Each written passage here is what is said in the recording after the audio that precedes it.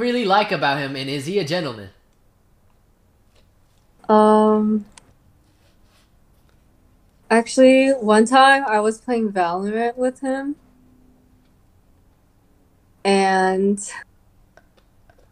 the four, the other three guys we were playing. Oh my god, stop! Oh my god, stop! No, were- no, this is bad. They, This is bad. they were being really sexist towards me, and they were like, I was like, I had a bad game. Like everyone has bad games. okay, but and ah. they were being so sexist towards me and they were like and oh they knew like jason and i were cute together and they were like yo like why are you playing with her Wait, like she's dog shit and you know what he said you guys know what he said no, stop! I regret it so much. Like, stop. he said because i'm horny i was literally about to cry like that's so bad bro. I was like, I literally, I would, uh, I